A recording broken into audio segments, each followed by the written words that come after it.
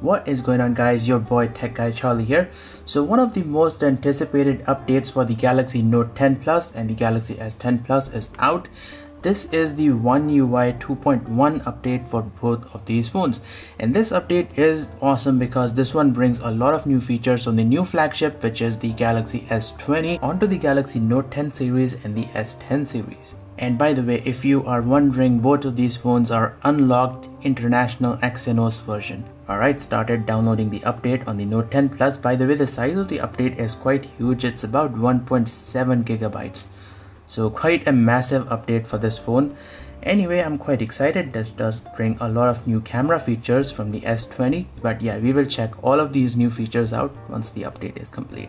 And I'm not going to make a separate video about the S10 Plus. I think it will be a little bit too repetitive because it is the exact same thing. So if you have the Galaxy S10 Plus, watch this video because it is the exact same thing. Alright, so the update is now complete. Lots of sunlight coming into my room. That's awesome. Alright, so let us go ahead and lock the phone. So we are running One UI version 2.1. So this is the new One UI version. This is the same version which is on the Galaxy S20 series. So now let us check out all the new features that are included with this update and as always I'm going to start off with the camera.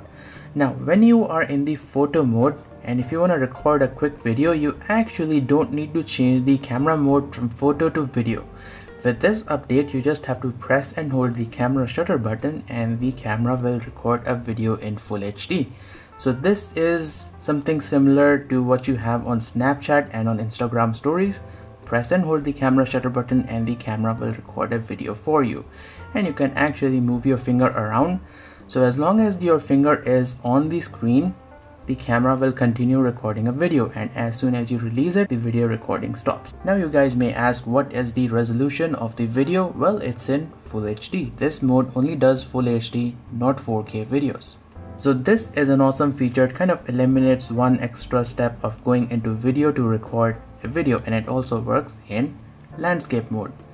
So now we are recording a video in landscape awesome right? Previously if you guys remember when you used to press and hold the camera shutter button the camera would take gif images or it would take burst shots. That feature is still there.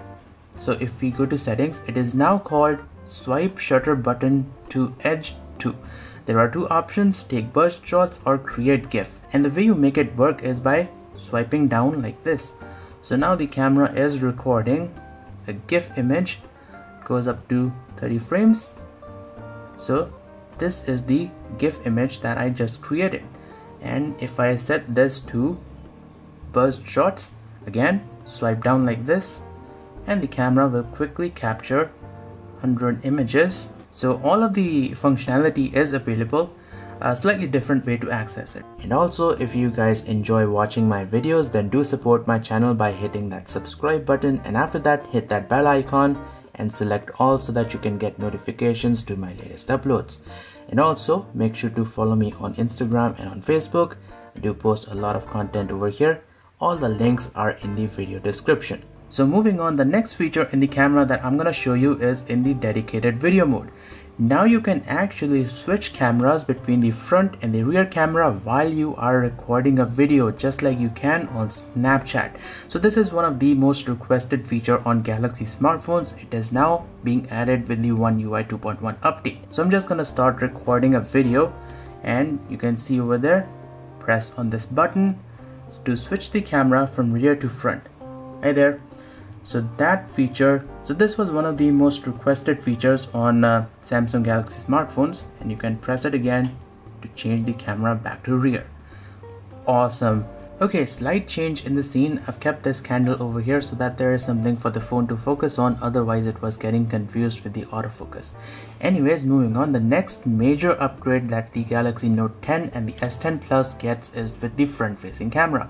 The front-facing camera now has the ability to record videos at 4K at 60 FPS. So if you love butter smooth videos at high resolution, the front-facing camera is now capable of doing that. So we will go to settings and front video size we will change it to 16 is to 9 and there you go there is a new feature 4k 60 fps and full hd 60 fps so these two settings are new. So that is awesome now the front facing camera can also record videos at 4K 60 and I can confirm it is recording at 4K 60 the video is butter smooth gotta love that Okay, so moving on, the next feature I'm gonna show you is actually not a new feature. It was already there on previous generation Samsung smartphones, but it was taken out. Well, I'm talking about the Pro Video mode. So this feature was actually available on the Galaxy Note 9 and the S9.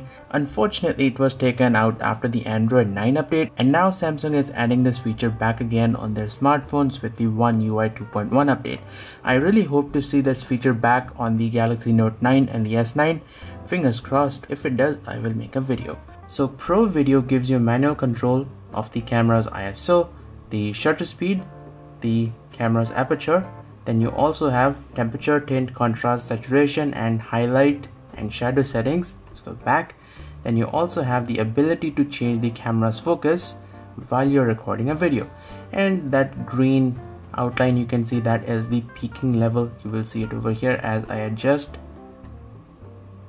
So that is focus peaking. The phone kind of lets you know which part of the uh, picture is in focus then you can also change the white balance. Now the thing is I've actually tested this feature out it's sort of very limited so right now I've set the ISO to 250 shutter speed 1 by 500 and manual focus. Now as soon as I hit the record button these three settings will get disabled. So as soon as I start recording you can see these three are now disabled. The only setting that I can change over here is the phone's autofocus so I can manually adjust the focus and change the white balance so don't really compare this to a DSLR the functionality is actually quite limited. But one thing I do like is the ISO does not actually change. So even if I covered up the camera the ISO still remains 250 so sort of semi-manual control over here. Uh, I would like to see full manual control where I am able to change the ISO while I'm recording the video. But yeah this is a step in the right direction. Samsung actually removed this feature from the previous phones now they're adding it back. Hopefully in the future we will see more updates to the pro video mode but for now this is what you get. So moving on let's go to hyperlapse. There's a new feature here called night hyperlapse. Now night hyperlapse kind of improves the low light quality of hyperlapse. So here's a quick demo. The first 10 seconds you will see is before the update so I just recorded a quick video of the stars.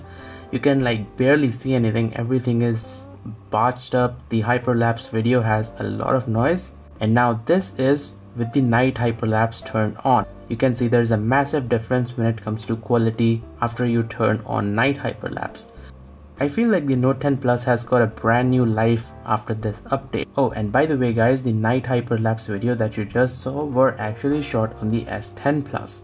So I thought I'll also do a video with this phone just to diversify this video because I'm also covering the S10 Plus in this video itself.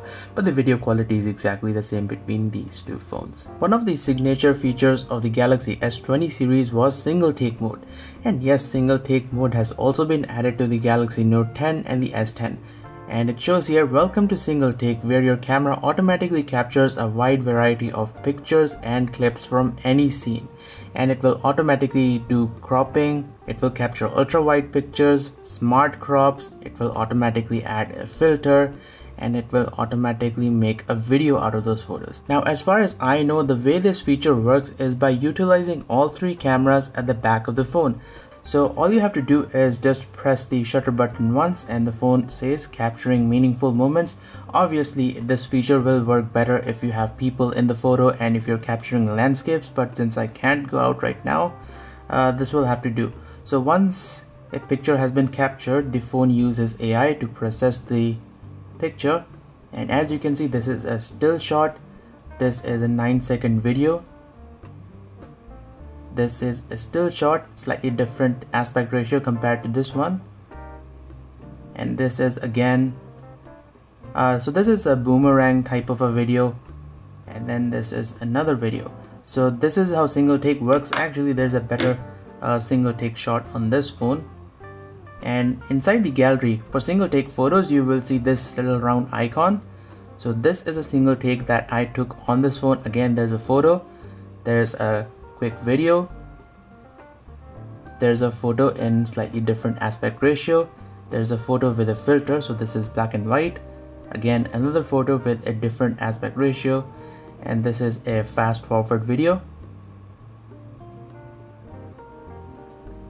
Not exactly black and white slightly different kind of a filter. Then wide angle photo. A fast forward video. No this is a boomerang video so you can see that icon over there.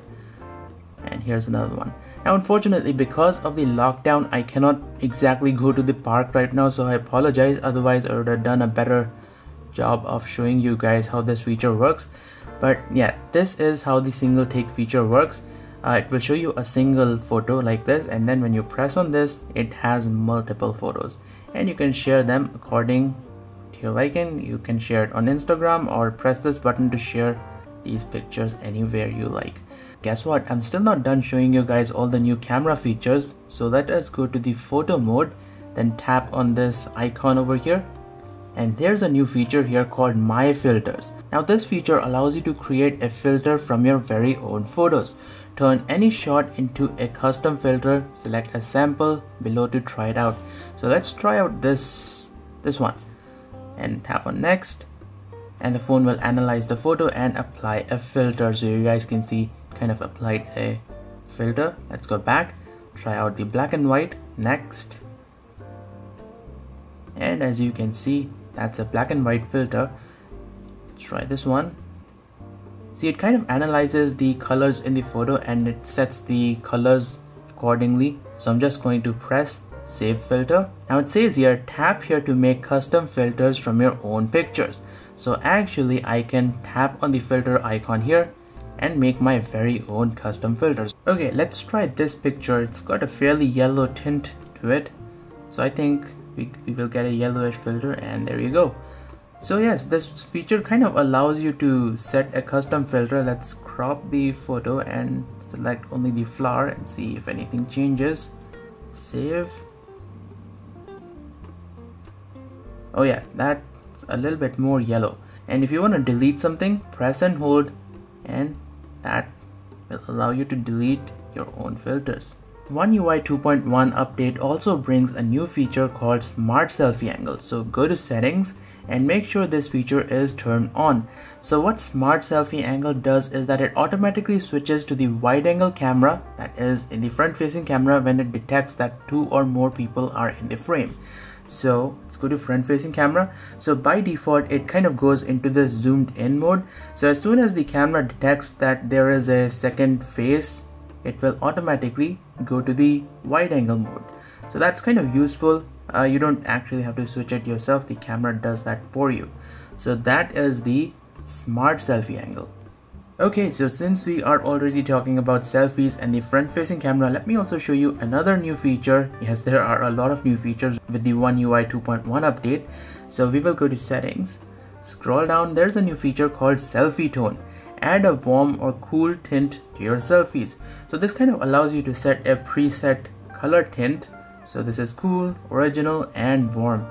So this is kind of nice. I like to keep my color tone to warm. So I will set that so now whenever the camera detects my face it will automatically apply a warm tint so you can see it kind of turns off when I pan my camera over here and as soon as it detects my face it will apply a slightly warm color tone.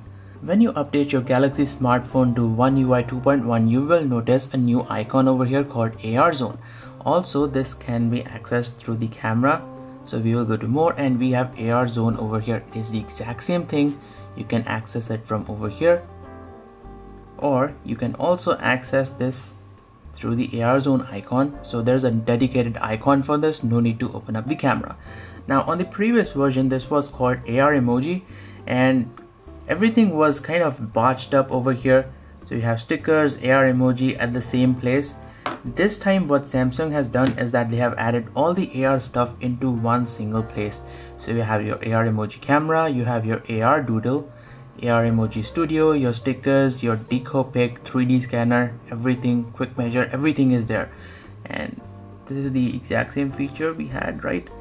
Uh, which was over here, these stickers. So yes, these are still available. Uh, you can still uh, download them if you like you can press that store icon and you can download more stickers from over here. I'm not a huge ar fan so i can't really show you all that much. I haven't even created my uh, own character on any of my phones but yeah check this out. So you can have these cute little animals.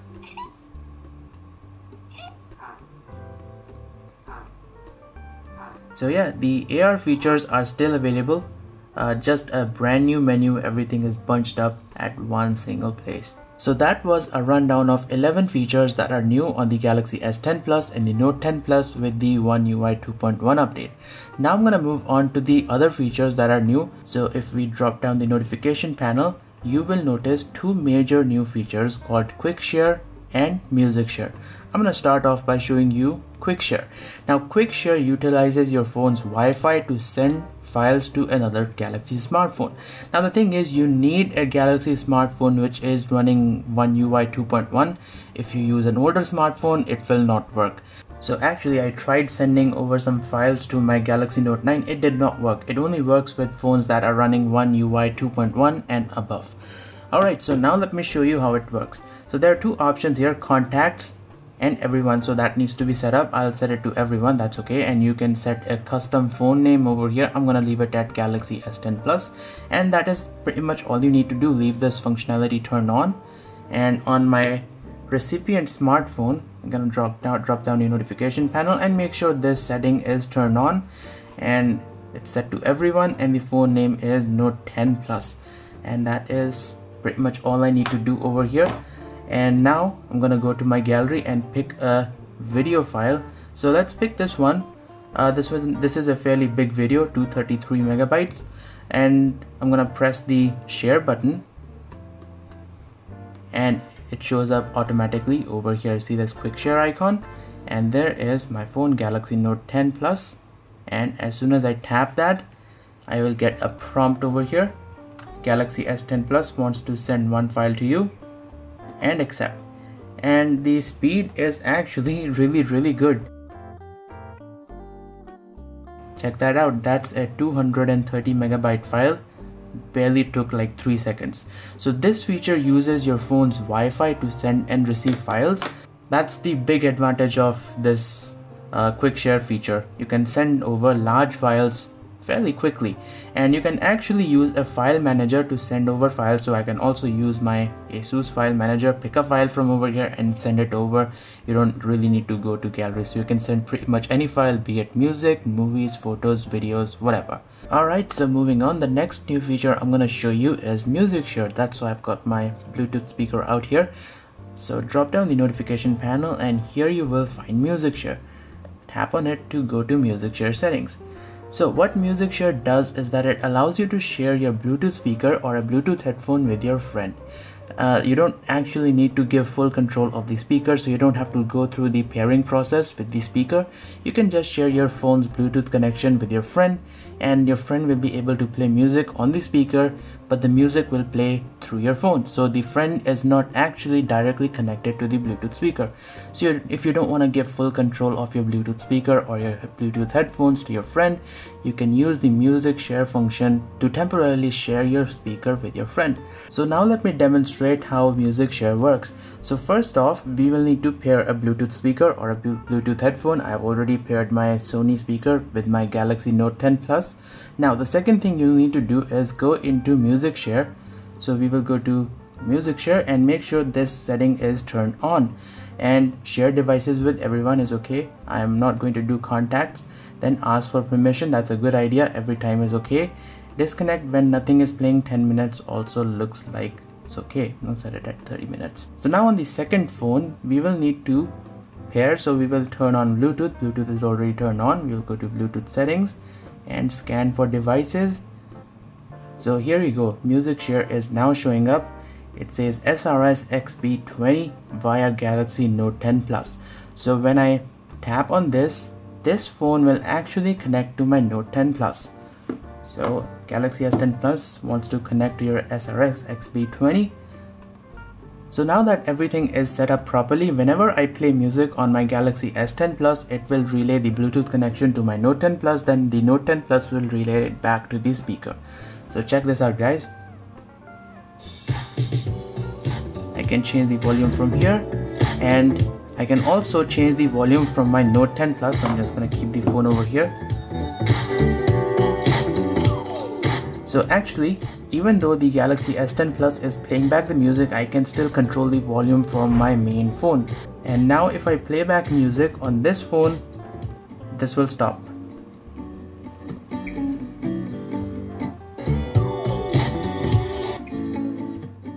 One downside of this feature is that this uh, music share feature does require you to run one UI version 2.1 so I will just uh, disconnect this thing so you guys can see the Galaxy Note 9 is unfortunately not able to locate the speaker or the music share functionality it would have shown up over here like it did on the S10 Plus that's because this is not running the latest version of One UI I hope this feature comes to this phone fingers crossed so let us carry on with the video because I'm still not done showing you guys all the new features. So the next two new features are in the gallery. By the way, if you want this case, the link is in the video description. Yes, I have started using a case with my phone. Don't want the phone to get damaged. Uh, by the way, this video is not sponsored by the makers of this case. Anyways, let us go into the gallery and you will see a new square icon over here. Now as soon as you press the square icon, the phone will group up similar looking pictures into one thumbnail. So as you can see, these pictures are kind of similar looking even though it's a slightly different angle.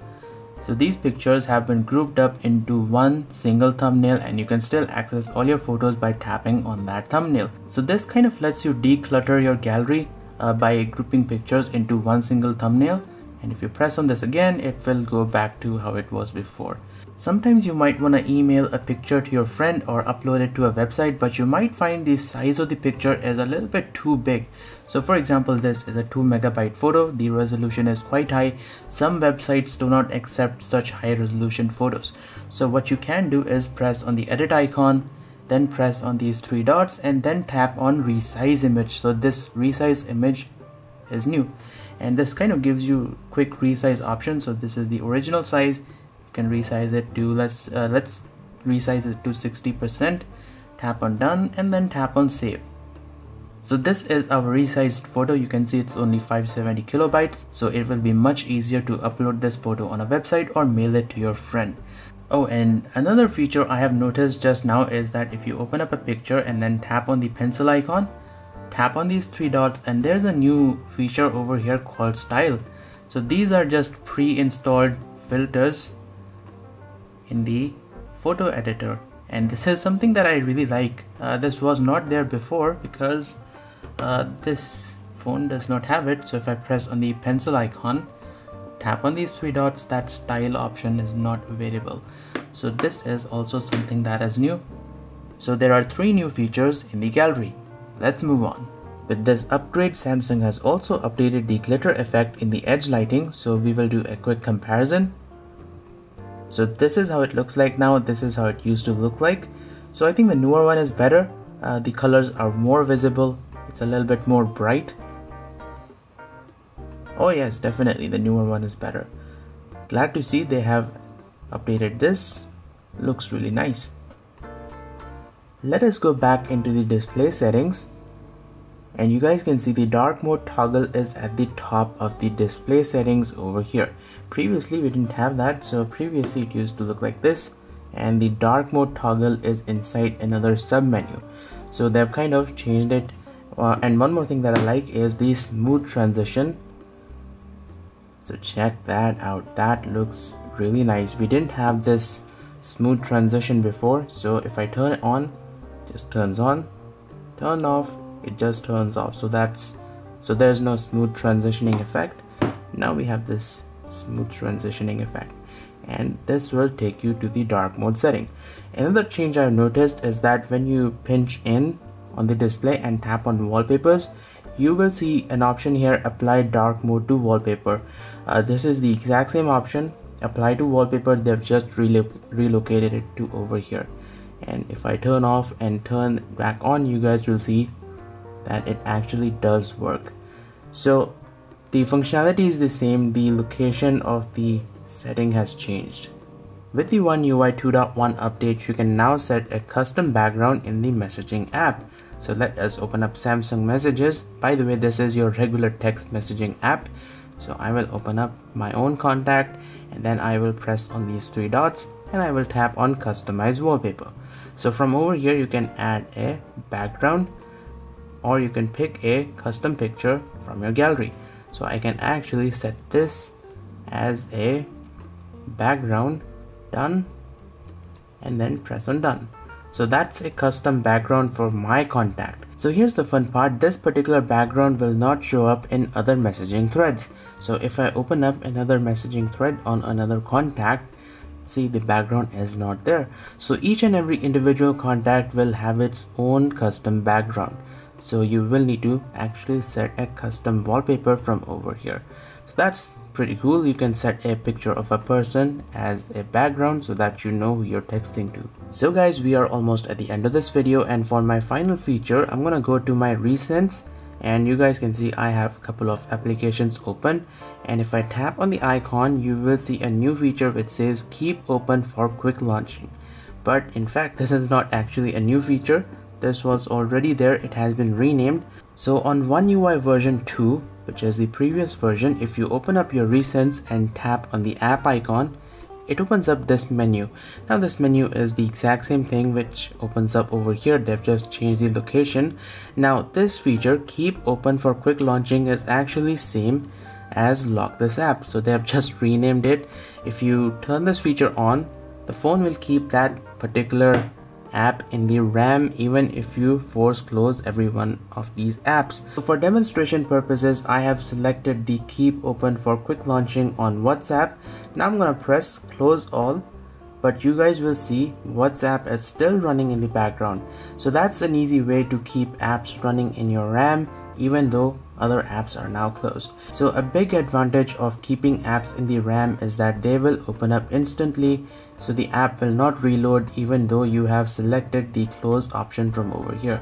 Another thing that I have just noticed is that whenever you unlock your phone using your fingerprint, there is a new animation that plays back over here. So check this out. See that circle that goes around? So that's a new unlock animation. Oh, and one last thing, let us go back into the display settings, scroll down and tap on screen zoom and you guys can see on One UI 2.1 we have 5 step screen zoom. So this one just makes everything bigger on the screen. I like to keep it at smallest setting. So there's a 5 step screen zoom. Previously we had a 3 step screen zoom. Now one thing that is sort of missing that I saw on the S20 series is live caption. So if you press the volume button on the S20 series, you will get a live caption uh, toggle button over here so that creates automatic subtitles for any media that is playing back on your phone. Unfortunately, Samsung has not included it with this update. I could not find it in the settings. So unfortunately, I could not find live caption even in the hearing enhancements. So if I go to subtitle setting, there are two options, Samsung subtitles and Google subtitles the live caption feature is unfortunately missing from my phone at least. So if you guys know how to turn on live caption, let me know in the comment section down below. Other than that, this update is fantastic. Everything is working nice and smooth. The phone is working great. And personally, I am really enjoying all the new camera features that Samsung has added with this update. Alright guys, so that pretty much wraps it up for this video. I hope you've enjoyed and if you did enjoy, don't forget to hit that subscribe and that like button. And then don't forget to follow me on social media. All the links are in the video description. So thank you guys for watching. Do stay tuned for more videos on these phones. I will see you guys next time